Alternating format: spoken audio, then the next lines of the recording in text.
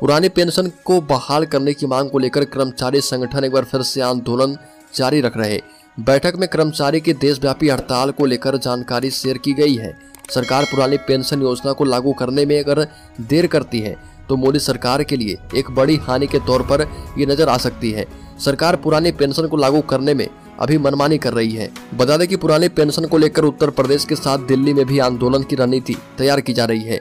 जिसमें केंद्रीय और विभिन्न राज्य के कर्मचारी संगठनों के पदाधिकारी शामिल होंगे। राज्य कर्मचारी संयुक्त परिषद के अध्यक्ष हरिकिशोर तिवारी का कहना है कि इस बार देशव्यापी हड़ताल की तैयारी है।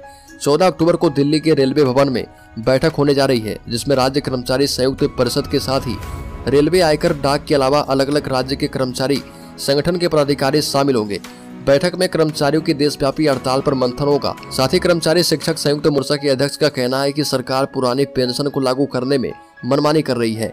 राज्य कर्मचारी संयुक्त परिषद के अध्यक्ष जयंत तिवारी का कहना है कि 1 जनवरी 2004 से पहले नियुक्ति पाए केंद्रीय कर्मचारी की किन्हीं कारणों से तैनाती में देरी हो गई तो उन्हें भी पुरानी पेंशन से बाहर कर दिया गया। लेकिन बाद में केंद्र सरकार ने ऐसे कर्मचारी को राहत दी थी और कट ऑफ़ डेट 2009 कर दी गई। बता दें कि देश में चल रहे आंदोलन के बीच छत्तीसगढ़ कांग्रेस सरकार के द्वारा नई पेंशन सेवा अंतर्गत आने वाले विद्युत कंपनी के दस हज़ार कर्मचारियों के लिए पुरानी पेंशन योजना की बहाली की घोषणा भी कर दी गई है। कैबिनेट की बैठक में इसके प्रस्ताव तैयार किया गया था, जिस पर मुहर लग गई है। ऐसे में छत्तीसगढ़ स्टेट पावर कंपनी के अधिकारी, कर्मचारी और पुरानी पेंशन योजना की पात्रता रखेंगे और इसका फ़ायदा उन कर्मचारियों को मिलेगा, जो कि 1 जनवरी 2004 या इसके बाद नियुक्त हुए हैं। पुरानी पेंशन योजना पर केंद्र सरकार पूरी तरह से घिर चुकी है और पुरानी पेंशन योजना की बहाली की मांग को लेकर देश भर से हज़ारों सरकारी कर्मचारी राष्ट्रीय राजधानी के रामलीला मैदान में जुट चुके हैं। इस महारैली से कर्मचारियों ने संदेश देने का काम किया कि केंद्र सरकार जल्द से जल्द पुरानी पेंशन योजना को लागू कर दे।